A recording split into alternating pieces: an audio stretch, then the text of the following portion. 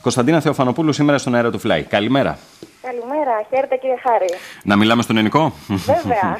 Καλημέρα, Χάρη. Καλημέρα, Κωνσταντίνα. Να σου δώσω συγχαρητήρια πρώτα απ' όλα. Όχι μόνο επειδή είσαι από το γειτονικό νομό, γιατί έχεις την ηλικία που έχεις και νομίζω ότι τέτοιους ανθρώπους χρειάζεται η χώρα. Αυτό το περιβόητο πια φαινόμενο των τελευταίων ετών να αποχωρούν από την Ελλάδα άτομα τα οποία όντως μπορούν να φέρουν πρόοδο στον τόπο, δεν θεωρείς ότι πρέπει κάποια στιγμή να σταματήσει; Ε, να σα πω, θεωρώ ότι εφόσον οι συνθήκες, ας πούμε, οι εκπαιδευτικές στο εξωτερικό είναι καλύτερες, ναι. τουλάχιστον ας πάμε εκεί να αναπτυχθούμε και μετά ας γυρίσουμε πίσω να φέρουμε τους καρπούς αυτών τέλος πάντων που εργαστηκαμε πολύ σωστά. Δεν το θεωρώ συγκεκριμένα τώρα αρνητικό. Mm-hmm. Αλλά δεν θεωρώ αρνητικό το ότι πρέπει να φύγουμε. Mm-hmm. Δηλαδή, καλύτερα να υπήρχε και επιλογή να μείνουμε. Mm-hmm. Μάλιστα. Θέλω για αρχή να μας μιλήσεις λίγο για σένα, να μας πεις με τι ασχολείσαι πια, ε, πώς ασχολήθηκες με αυτό και πού βρίσκεσαι, ποιοι είναι οι στόχοι σου. Ναι, βέβαια. Εγώ αρχικά σπούδασα στην Αθήνα στο τμήμα γλωσσολογίας, δηλαδή έχω τελειώσει κάτι πάρα πολύ Και μετά, όταν έφυγα και έκανα το μεταπτυχιακό μου στη Βαρκελόνη, ήρθα σε επαφή έτσι με την ευρωεπιστήμη και πολύ πιο έτσι επιστημονικά που λέμε ζητήματα και πλέον ασχολούμαι με τη γενετική της γλώσσας γιατί κατάλαβα ότι εκεί μέσω αυτού θα μπορέσει, αν μπορεί κάποιος τα χρόνια της ζωής του να δώσει έτσι μια βοήθεια στον κόσμο που το έχει ανάγκη. Οπότε ξεκίνησα από θεωρητικό και πλέον είμαι σε πολύ πρακτικό επίπεδο μελέτης της γλώσσας. Αυτό, αυτό κάνω τώρα. Μάλιστα. Και είσαι και υποψήφια διδάκτορ, έτσι; Ναι, ναι, τώρα μπαίνω στο δεύτερο έτος.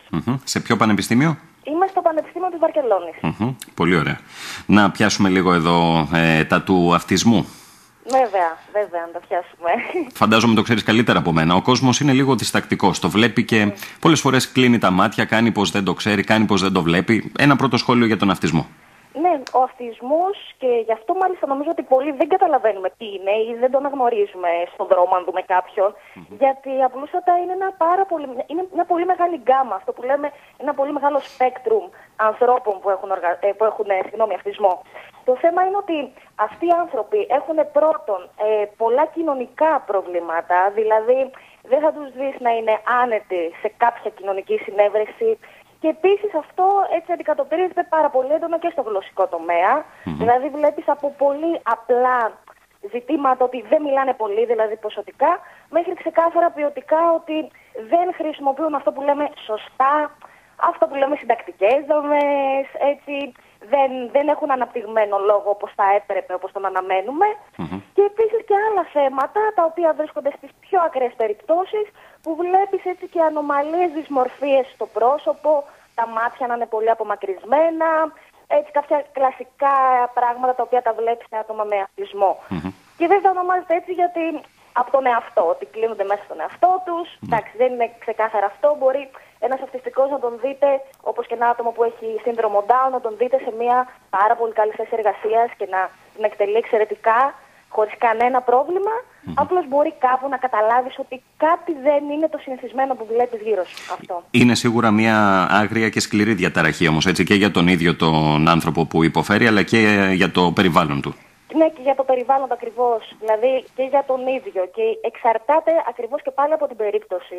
Δηλαδή θεωρώ ότι και πολλά άτομα τα οποία δεν έχουν διαγνωστεί ε, είναι αυτιστικά γύρω μας πάρα πολλά, μα πάρα αλλά για, του, για τον κόσμο γύρω και βέβαια και τώρα λαμβάνω mail μητέρες που μου λένε ειδικά μετά το άρθρο πραγματικά θα μπορούσε να χρησιμοποιηθεί, το παιδί μου ε, έχει αυτισμό. Ε, αυτό που είναι το πιο λυπηρό, ας πούμε, είναι ότι δεν έχει βρεθεί κάτι το οποίο θα μπορούσε να χορηγηθεί ώστε κάπως να αντιμετωπιστεί. Υπάρχουν ε, μέρη που τους κάνουν έτσι πιο κοινωνικό παιχνίδι, προσπαθούν να τους κοινωνικοποιήσουν πιο πολύ. Ε, αλλά δεν υπάρχει κάτι που να πεις, ωραία, εντάξει, το παιδί μου έχει αυτισμό, θα το στείλω εκεί και θα γίνει καλά. Και κάπου εδώ έρχεται η οκιτοκίνη; Έρχεται, έρχεται. Εμείς με αυτή ελπίζουμε ότι, ότι θα γίνει κάτι, γιατί είναι κάτι που είναι, ας το πούμε, είναι φάρμακο, είναι μια ορμόνη. Δηλαδή δεν είναι ότι είναι κάτι το οποίο το έχουμε αλλάξει πάρα πολύ, ας πούμε, και τους το δίνουμε μετά ως φάρμακο-φάρμακο. Είναι κάτι το οποίο παράγει ο εγκέφαλος από μόνος του. Είναι κάτι το οποίο έχουμε βρει σε υπερβολικά πολλαπλές περιπτώσεις ανθρώπων αυτισμό ότι δεν το παράγουν. Έτσι, έχουν πρόβλημα δηλαδή σε όλα τα συστήματα που τροφοδοτούνται από αυτό, από αυτή την ορμόνη, ε, έχουν πρόβλημα, δεν έχουν πολύ, δεν τροφοδοτείται στα σωστά συστήματα του εγκεφάλου, έχουν έτσι κι αλλιώς πρόβλημα στο γονίδιο της παραγωγής αυτής της ορμονης Οπότε νομίζουμε ότι αν τους δώσουμε λίγη παραπάνω, ελεγχόμενα και όπως πρέπει, ότι το σύστημα αυτό τουλάχιστον θα βοηθηθεί κάπως. Η οκυτοκίνη είναι αυτή η ορμόνη που παράγει ο οργανισμός κατά τη διάρκεια της αγκαλιάς ή λέω κάτι λάθος; Πάρα πολύ σωστά τα λέτε. Είναι, είναι η ορμόνη και κατά τη διάρκεια της αγκαλιάς. Θυμάμαι υπάρχει ένα πάρα πολύ ε, γνωστό βίντεο που ένας άνθρωπος αγκαλιάζει, ένας επιστήμονας αγκαλιάζει άλλους ανθρώπους και τους λέει τώρα έχεις οκυτοκίνη. Αυτό έχω δει, γι' αυτό, γι αυτό το ανέφερα. ναι. Αυτό το, έτσι, λέει την πιο ας πούμε εμπορική πλευρά της ορμόνης. Αυτό που όλοι ξέρουμε είναι ότι έχει συνδεθεί και τελείως έτσι σίγουρα δεν είναι ότι απλώς έχει συνδεθεί σε μια έρευνα και με τον ε, φυλασμό και με τον τοκετό που προκαλεί σπάσει της μήτρας όταν ε, και με την ερωτική επαφή. Αλλά κατά τα άλλα αυτό συμβαίνει όταν η ορμόνη έτσι διασπείρεται σε άλλα σημεία του κορμιου Όταν η ορμόνη πηγαίνει σε άλλα σημεία του εγκεφάλου ε, δημιουργεί και άλλες ας πούμε αποκρίσεις οι οποίες είναι ξεκάθαρα πιο κοινωνικές, έτσι, αισθητικές, σαν αυτό, ότι στην αγκαλιά που νιώθουμε την εφορια ε, μετά από πολλές αγκαλιές με ένα σύντροφο που νιώθουμε ασφάλεια και πίστη, όλα αυτά λέγεται ότι, ας πούμε, γίνονται λόγω της οκυτοκίνης. Μάλιστα. Πόσο κοντά και πόσο μακριά είμαστε ε, μέχρι να δούμε αυτό το ρινικό σπρέι στα ράφια ενός φαρμακείου, ας πούμε; Στα ράφια ενός φαρμακείου, εντάξει. Αυτό στην Ελλάδα δεν ξέρω πότε. αλλά νομίζω καταρχάς το καλό είναι ότι ήδη χορηγείται σε αυτιστικούς σε πλαίσια άλλων ε, εργασιών και άλλων πειραμάτων. Δηλαδή μέχρι τώρα οι άνθρωποι έχουν ε, προσπαθήσει να δούνε τι γίνεται όταν τους χορηγείται αυτό το σπρέι. Ε, σε κάποια άλλα πειράματα, δηλαδή για το πώς αναγνωρίζουν τα πρόσωπα, δηλαδή μπορεί να το έχετε καταλάβει ότι σε περιπτώσεις αυτισμού ή Alzheimer που τους έχουμε πιο κοντά μας, ότι οι άνθρωποι ξεχνάνε τα προσωπα ή ότι η βλεμματική τους επαφή δεν εστιάζει καλά εκεί που πρέπει. Χάνονται, χάνονται τα μάτια τους ας πούμε. Έχουμε παρατηρήσει λοιπόν ότι ήδη με ελληνικό σπρέιο και το κίνης αυτό βελτιώνεται τρομερά. Οπότε το καλό είναι ότι είναι ήδη ας πούμε στο εμπόριο των πειραμάτων αυτό η ορμόνη. Αυτό είναι πολύ καλό. Το θέμα είναι να γίνει αυτό το πείραμα ε, και, με και πάνω σε κάποιο γλωσσικό ζήτημα. Ε, πόσο μακριά είμαστε από το... Για τα ράφια των φαρμακείων δεν ξέρω. Ναι. Για να υπάρχει σε κέντρα ας πούμε, αντιμετώπιση αυτισμού και να χορηγείται, νομίζω ότι θα, μπορούσαν, θα μπορούσε να γίνει και σε ένα-δύο χρόνια. Πραγματικά το πιστεύω αυτό. Mm-hmm. Μάλιστα. Ποιους άλλους στόχους τώρα έχεις θέσει, Δεν ξέρω αν ε, οι στόχοι σου αφορούν μόνο τον αυτισμό ή διευρύνονται.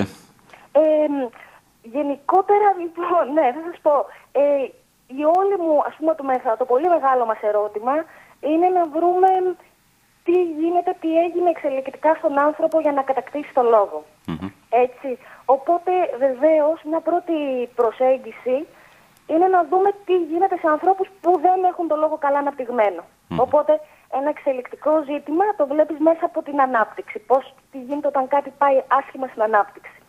Ε, η άλλη περαιτέρω στόχη είναι να δεις τι συμβαίνει σε άλλα ζώα ας πούμε του βασιλείου και ποια είναι η διαφορά κλειδί που έκανε τον άνθρωπο να μιλήσει και να έχει έναν εγκέφαλο όπως είναι έτσι τόσο περίπλοκος ε, που τον καθιστά κάνω να μιλά. Αυτό είναι έτσι ένα πιο εξελικτικό ζήτημα το μεγάλο ενδιαφέρον, το οποίο όμως φωτίζεται μέσα από γλωσσικές διαταραχές απαραίτητα.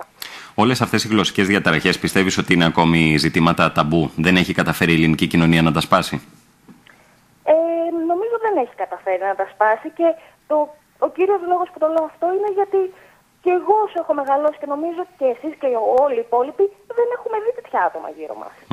Δηλαδή εγώ στο εξωτερικό πραγματικά βλέπω πολλά άτομα με σύνδρομο Down έξω και το λέω και αναφέρω το σύνδρομο Down γιατί χαρακτηρίζεται επειδή έτσι, στο εξωτερικό ε, τμήμα του προσώπου το βλέπεις, βλέπεις ότι ο άλλος έχει σύνδρομο Down. Ε, δεν το έχουμε χωνέψει ότι υπάρχουν τέτοια άτομα γιατί δεν τα βλέπουμε. Γιατί έτσι κι αλλιώς, μάλλον λογικά οι οικογένειες τα αποκρύπτουν. Ε, οπότε δεν είμαστε καν, ας πούμε, πιο γνώριμοι με το ζήτημα. Και είναι κρίμα, βέβαια, ναι. Και η συμβουλή σου προς τις οικογένειες που μπορεί να μας ακούν και να αντιμετωπίζουν ένα τέτοιο ζήτημα, αλλά να θέλουν να το βάλουν κάτω από το χαλί; Ε, να, να μην το βάζουν κάτω από το χαλί. Και συγκεκριμένα πώ ε, ας πούμε, νομίζω ότι ε, αυτό το λάθος που κάνουμε γενικότερα ε, οι άνθρωποι ε, έναντι ανθρώπων που δεν θεωρούμε ότι έχουν την ίδια νοημοσύνη. Δηλαδή, αν το παρατηρήσετε, το κάνουμε και στα μωρά παιδιά. μιλάμε με έναν πάρα πολύ ιδιαίτερο τρόπο, σαν να μην έχουν καμία νοημοσύνη. Αν μιλήσεις στο μωρό παιδί σαν να είναι ένας ενήλικας, ε, νομίζω ότι έχει πολύ καλύτερη επικοινωνία. Το ίδιο γίνεται και σε αυτούς τους ανθρώπους. Mm-hmm. Τους μιλάς ξεκάθαρα όπως είναι να τους μιλήσεις, χωρίς περιστροφέ και χωρίς δεύτερε σκέψεις. Ε, και θα επικοινωνήσουν με τον τρόπο τους. Δηλαδή, δεν καταλαβαίνω γιατί πρέπει να υπάρχει μια προϊούσα σκέψη τόσο μακρά πριν, πριν να γίνει μια επικοινωνία, μια επαφή με ένα τέτοιο άτομο. Ε, δηλαδή, όπως έχει κάποιο ένας σπασμένο πόδι, αυτός έχει κάτι στον εγκέφαλο, είναι ένα πρόβλημα. Δηλαδή, τι να κάνουμε. Δεν, υπάρχουν και αυτά. Μάλιστα. Ωραία. Πριν κλείσουμε, θέλω και κάτι τελευταίο. Επειδή πρόσφατα βγήκαν οι βάσεις, τα παιδιά έμαθαν σε ποιες σχολές ε, θα σπουδάσουν, θέλω να, ένα μήνυμα δικό σου και προς τις οικογένειες αλλά και προς τα παιδιά αυτά, τα οποία σκέφτονται ότι Ωραία, θα πάω να σπουδάσω. Και μετά τι; Νομίζω ότι είσαι χαρακτηριστικό παράδειγμα ενός παιδιού το οποίο έφυγε από την Αρκαδία και ε, δεν το λέω για ε, να σου χαϊδέψω τα αυτιά. Θεωρώ ότι μεγαλουργείς και θα συνεχίσεις να το κάνεις. Ναι, η, η συμβουλή μου θα ήταν. Ε, επειδή ακριβώς ο χώρος εργασίας είναι μετά, η αγορά εργασίας είναι πολύ περίεργη, θα ήταν και στους γονείς και στα παιδιά, και συγκεκριμένα προσμαστέ, να προσπαθήσουν από τη σχολή τους να λάβουν τα εφόδια όχι μόνο τα γνωστικά, δηλαδή όχι μόνο να μάθουν καλά μαθηματικά, δεν ξέρω, φιλολογία, οτιδήποτε σπουδάζουν, αλλά να μάθουν καλά τον τρόπο του να δουλεύουν, να μάθουν να είναι καλά οργανωμένοι, πειθαρχημένοι, να τα κάνουν όλα στη σειρά τους και στην ώρα τους, να μην αφήνουν αυτό που λένε πολλά μαθήματα, αλλά και κατά τη διάρκεια της μελέτης να αναπτύξουν γενικούς τρόπους αντιμετώπισης γνωστικών υλικών και καταστάσεων, όχι το να μάθω αυτό για να το μάθω αυτό να περάσω το μάθημα. Γιατί μετά, όπως και συνέβη σε μένα, μπορεί να κάνουν κάτι τελείως άσχετο, έτσι, ε, ή κάτι λίγο πιο άσχετο ή κάτι λίγο στο οποίο θα πρέπει να δείξουν όχι τι ξέρουν ακριβώς το, πάνω στο ζήτημα, αλλά ότι είναι άνθρωποι που μπορούν να δουλέψουν. Αυτό, αυτή, την, αυτή τη συμβουλή θα τους εθνα Εάν υπάρχει κάποιος άνθρωπος που θέλει να επικοινωνήσει μαζί σου, είναι εφικτό; Δηλαδή, μπορεί κάποιος να σε βρει στο πανεπιστήμιό σου, ας πούμε; Ε, γκουγκλάρει το όνομά μου, θα βρει και το mail μου και ό,τι, ό,τι θέλει για να, για, για να με ας πούμε, συναντήσει. Και στο Πανεπιστήμιο εννοείται, ναι, κάνουμε meetings ε, με ανθρώπους που θέλουν να μάθουν περισσότερα ή έχουν απορίες. Κωνσταντίνα, χάρηκα πολύ για την επικοινωνία. Έστω και ένας άνθρωπος να έλαβε τα μηνύματα τα σημερινά, νομίζω ότι έχουμε κερδίσει. Εύχομαι καλή πορεία και καλή σταδιοδρομία και είμαι σίγουρος γι' αυτό. Ευχαριστώ πάρα, πάρα πολύ για τις ερωτήσεις. Ευχαριστώ πάρα να είσαι καλά. Καλημέρα. Γεια σας, καλημέρα.